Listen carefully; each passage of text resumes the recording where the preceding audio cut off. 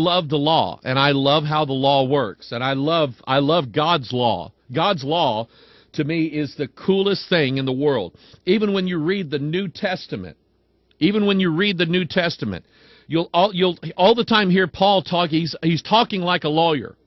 He'll talk about uh, of all these things, this is the sum, or he'll say, uh, what what shall we say for what what shall what shall we say to these things? He's giving a summation like a lawyer would in a courtroom. He's got the jury there and he's pleading his case. And Paul had to do this. We're studying in the book of Acts on Sunday morning in Sunday school. And Paul had to do this. He had to plead his case. And he did it by way of Roman law. Okay, he's appealing to Roman law, and he's also telling the Jews who are accusing him, I followed the Old Testament law, and I was in the temple keeping the law when you came and arrested me. And so I love the law. Okay? The Bible talks about the letter of the law, what the law says. Okay? And I've heard some people say, well, you interpret it that way. No, no, no, no, no. No, no. And what, what is it that we're dealing with in this country with our Constitution? Our Constitution right now is being eroded by judges who are trying to reinterpret the original intent of the letter of the Constitution. They're trying to reinterpret it. We're dealing with a situation right now in the St. Louis area where a uh, one of these um, one of these communities, I think it's uh, St. Charles or something like that, is wanting to um, wanting to uh, pass an ordinance. I think they're going to vote on it tonight. They're wanting to pass an ordinance that would prohibit people within the city limits of uh, listen to this now of using a pellet gun on squirrels because squirrels get in and they chew electric wires and they do damage to homes and everything like that. And the Missouri Constitution gives us the right to keep and bear arms. The United States Constitution gives us the right to keep and bear arms. And the, the city of St. I think it's St. Charles is going to pass an ordinance that says you cannot use a pellet gun to defend your house and your property against squirrels. That's not fair to the squirrels.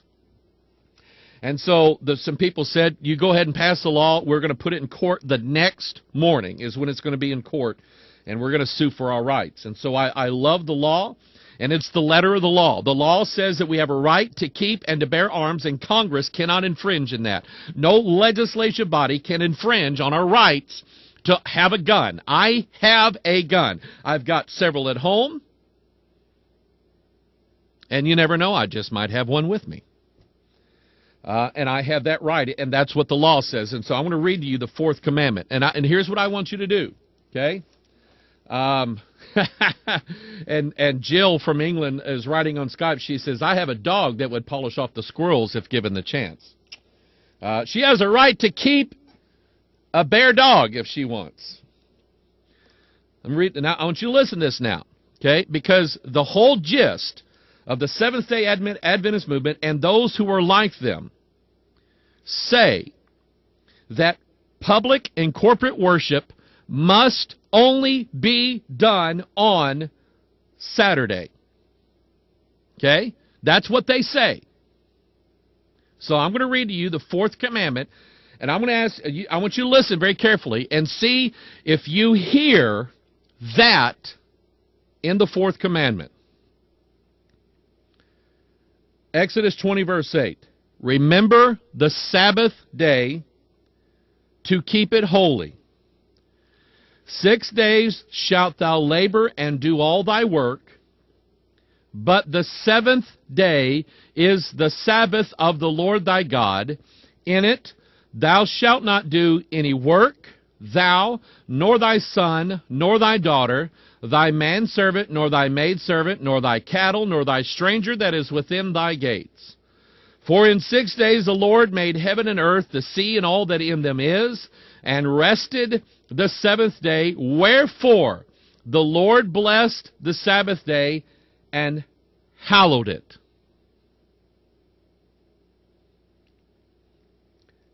Uh, it does not say that we must worship only on Saturday. It does not say that.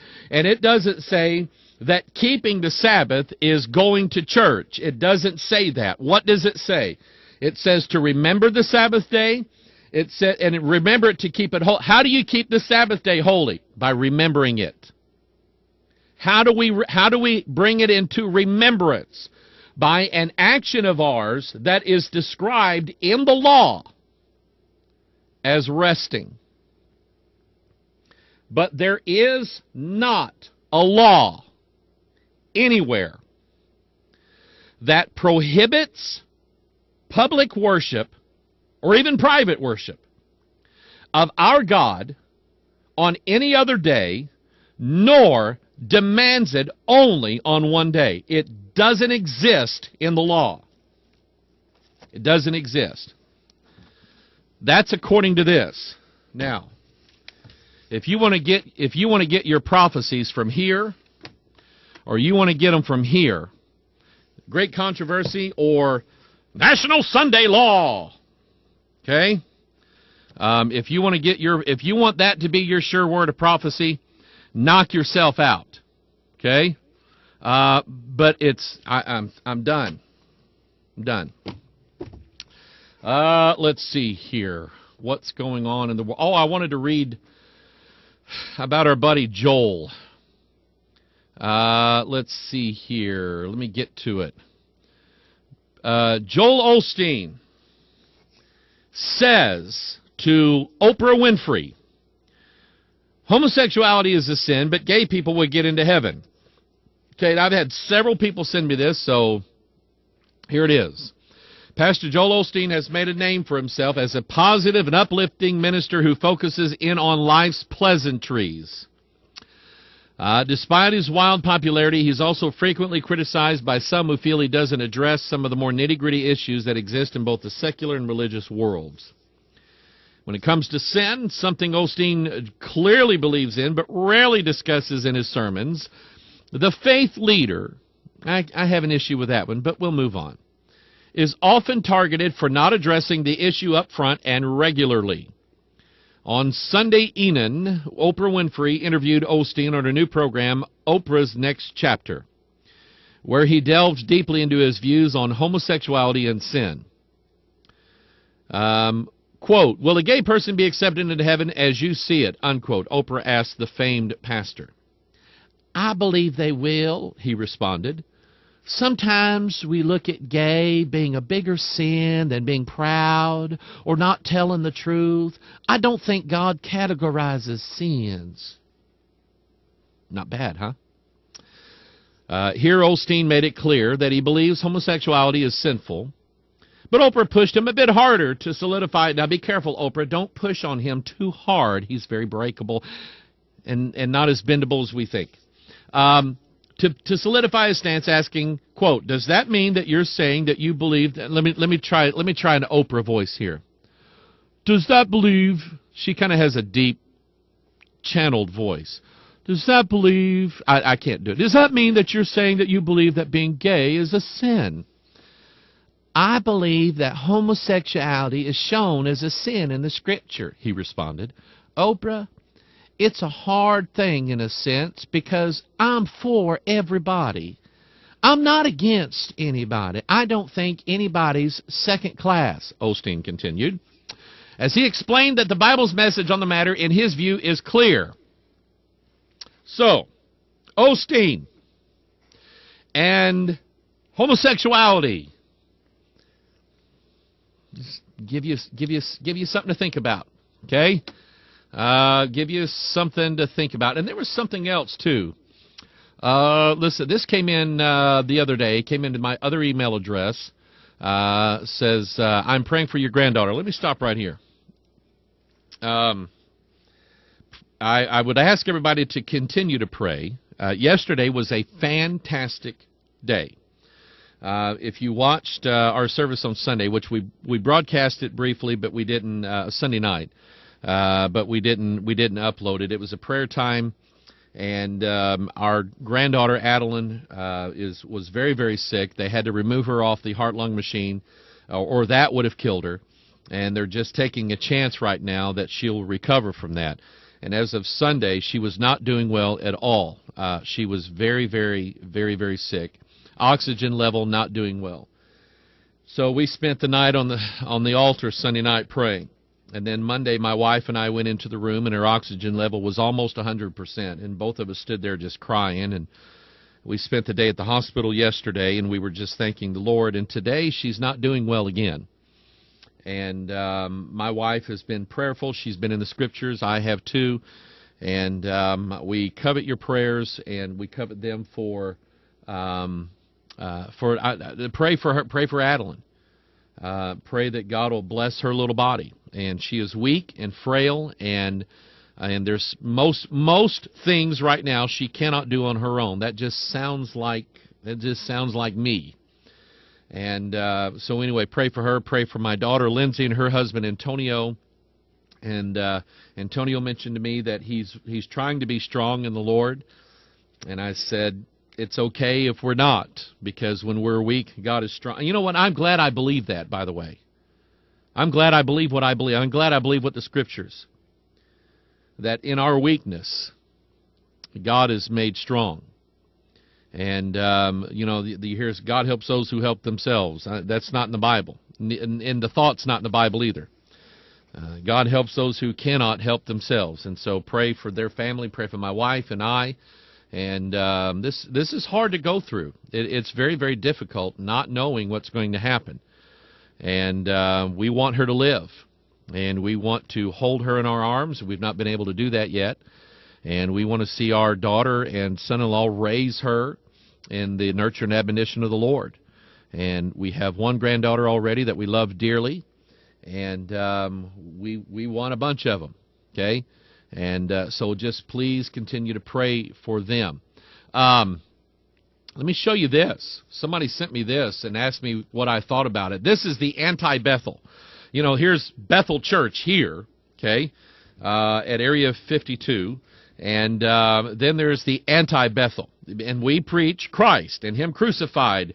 And, and when I say Christ crucified, I, I listen, if you don't know me by now, I believe in the absolute finished work of the cross. The finished work of the cross. So that, and, and I'll tell you, can I tell you what I did on the Sabbath day? Those of you who want to judge me for what you think I did on the Sabbath, can I tell you what I did on the Sabbath day? On Saturday, you know what I did? I rested. I sure did, and I enjoyed it. Okay?